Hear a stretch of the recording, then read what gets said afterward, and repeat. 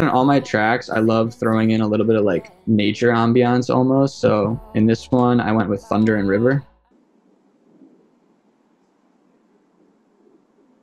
Oh, that's can't really nice. you can't really hear it, but it just adds like a little bit of noise that kind of fills out the spectrum. And then river. That one's real quiet.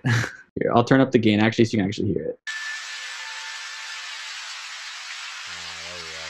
So like I, I usually in all my tracks I have some kind of nature in it. Yeah, it's because it. Yeah, it was really quiet. It's like down by negative 50 dB, but that's great. That it's just sitting in the background. It just fills up the spectrum, you know, and like it just adds noise instead of like usually instead of white noise or like I love adding like noise to stuff to fill it out. So it's just like a cool way to add noise in my opinion.